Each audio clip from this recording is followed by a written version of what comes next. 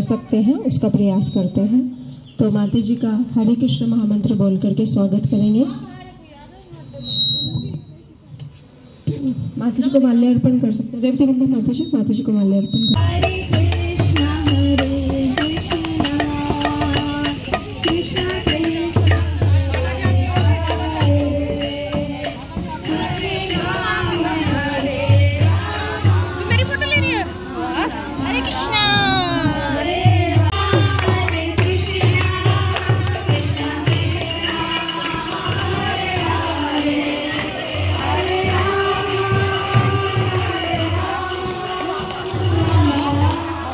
evening.